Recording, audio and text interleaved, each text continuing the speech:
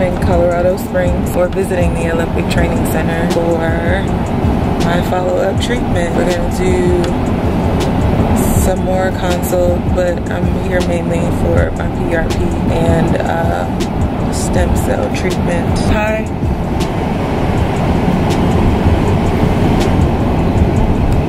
My chaperone. Are you gonna look at the needle? Are you gonna hold my hand?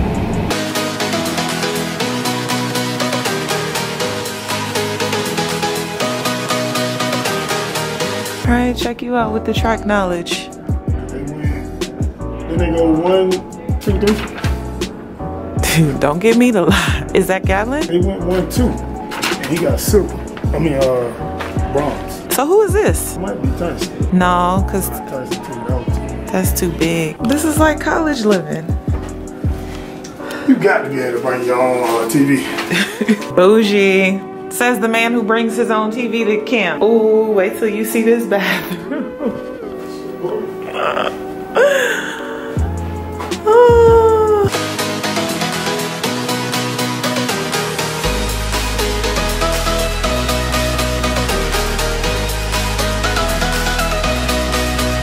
One thing I was gonna ask you that I think we're a little confused on, do you know who Karen is? I don't. I've only been communicating with her through email. Okay. So you, but you know of her, she's Yes. been talking to you? Yes.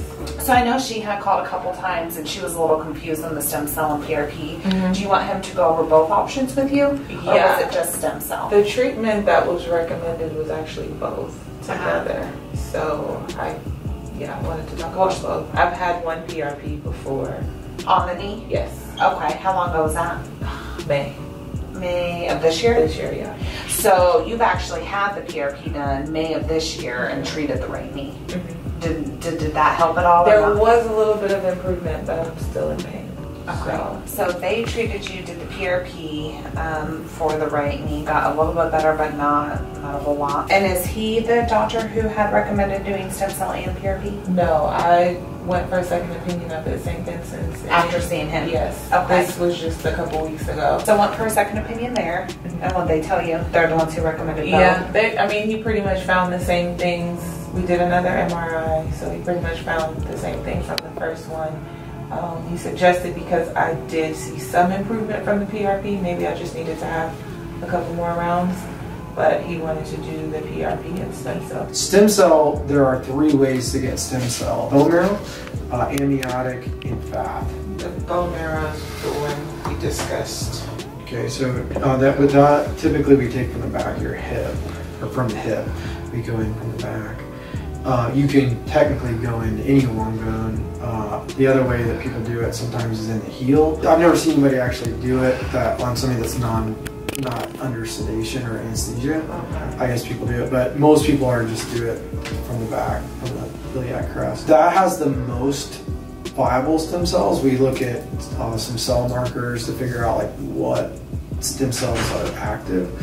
There's nothing magical about stem cells. Like they're just cells that haven't decided what they want to do. Last 10 years, uh, we've gotten better and better. I think the last three to five has made even a bigger advance than the previous five. Veterinary literature is way ahead of us on this. Part of it is uh, you can objectively say to somebody like if, if we, uh, they initially were doing it in um, uh, racing horses to say, hey, this horse, we can inject this, and then they put weight on their hoof, which they hadn't before, so they got better.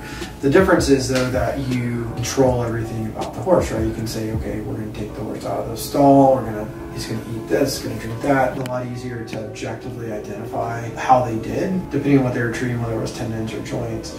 When you start involving the meniscus and the cartilage, then uh, changes things a little bit as far as what cells are. But the amniotic products are those are the ones that you just can purchase through usually cord blood or through Wharton's jelly. Those are from somebody else. Those just come pre-filled syringes and they have some stem cell in them. The question has been how much, because you know we know that like in bone marrow we have a pretty high percent. And, um, in fat, it's it's okay. Um, in Europe, they use different enzymes to help kind of cleave, but uh, amnio products will tell you like, hey, this has got say 40% stem cell.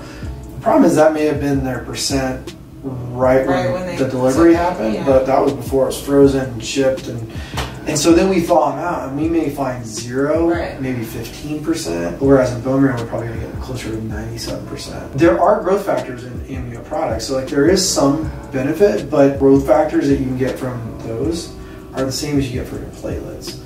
So I personally, and I don't have uh, a massive volume of literature to show you, because frankly, those products are hard to get a real straight answer as far as what their actual numbers. They'll give them, but they're, Right. they're you got to really sift through it. The growth factors are essentially the same in your PRP than as it is those. I don't know that there's a lot of benefit in the amnio products over PRP in most people's cases. Maybe again, if you get one of those lucky batches and you're 15%, okay, there's some stem cell in there.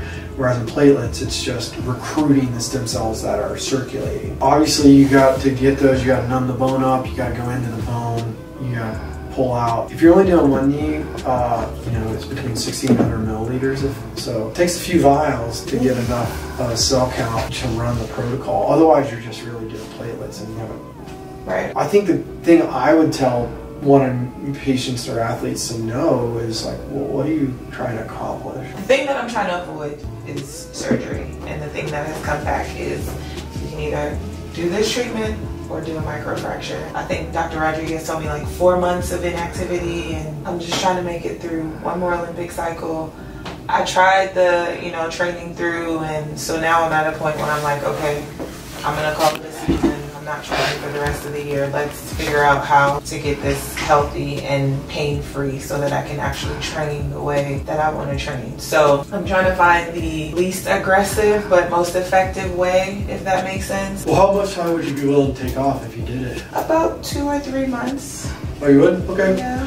Because a lot of people come in and I want to take a week off. And it's like, well, let's think about how this works, right? So we're putting in cells in different parts of the knee. Probably best analogy is like, that's like trying to throw seeds on the ground expecting them to be able to go pick the I think the term Dr. Carey used is like, you know, we can do the treatment, but you have to give it an environment to heal. And I was like, okay. Yeah, the PRP kind of what it does is it turns off some inflammation in the knee. It's sort of like prepping the soil with some fertilizer.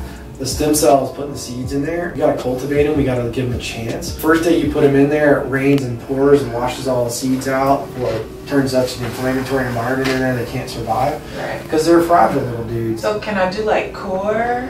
Yeah, uh, we just don't want to load the knee. We can do things like straight leg raises. We just don't want to put a lot of joint force through there, and especially when we get into more than about uh, 45 degrees of flexion, um, certainly bringing it all the way back. The other thing I would tell you is I don't just put them in and jack done. Like we got to hit all those points on the MRI. So we do that by ultrasound, but we, you know, we're looking at each one of those sites and make sure that we're putting it where we say we are. And then we have kind of a specific volume that we want to hit. Again, it kind of depends on your MRI for me to tell you that specifically. What you're telling me is sounds like you've got some condylation. That's a good thing for you as far as prognosis goes. Meniscus. So we do use fat if we're trying to inject the meniscus itself. So that's another source. We Okay. take that from the side. You're not going to be easy to get that from. You don't think so? No. Would- uh, you don't need very much is the good news. Like you don't you need like a mill. Okay. Uh, not, you don't need much. So when you say I'm not going to be very easy, does that mean it's harder to get it. It, so is it going to be more uncomfortable for me? Eh, not really. I mean, there's an extra couple of numb shots. I think it's worth doing though. We have to be careful of is make sure we stay with, within the bounds. Right. So somebody as an accomplished athlete like yourself has talked to lots of people. I get it. Um, if you talk to people who go to Europe, they do use fat, and then those enzymes I mentioned, they can inject those kind of depending what country they can inject them wherever they want. We cannot inject fat into a joint. So the FDA says we can inject around joints, we can inject Okay. fiber cartilage, like we, but we can't. Um, what they say is that that's not autologous or homologous to your joints Okay. and that's cell manipulation, uh, or I know there's multiple terms for that. So we, you know, we stay on the up and up on that, but they have clearly stated like we can use that for fat pads, which are important parts of your joint health. We can use it for meniscus. We can use it for tendons. We can use it as long as we're not putting it into the facet joint or into. And it's silly because the question is, well, it's in the meniscus, which is in the joint. It's a, but I'm injecting intrasubstance to the structure. Okay. So we're staying within bounds of making sure that you know we're not pushing anything we're not supposed to be doing. If you're putting cells that aren't supposed to be there, mm-hmm. aren't naturally there, you're modifying using biologic cells in somewhere that it's not native to. Yeah. And that's that may be a potential ethical concern. Right, I mean, you can see where that line Yeah. can get blurred. When you get into actual anatomy, it's like, well, there are fat pads in joints. You can't actually inject cells into a joint and keep it right there because the whole joint communicates. I think that's something that's worth Exploring. doing if you're going to go to do it. Um, if you have a tear, if you don't have a meniscal or tendon tear, I would not use that. So that would be something we want to definitely confirm that Okay. you know it's worth doing. Our goal is, to your point, is the idea is if we can get those cells to start to regenerate. Now these commercials or these pictures you see where like the X-ray looks like this, and then after stem cell, that's not going to happen. Yeah.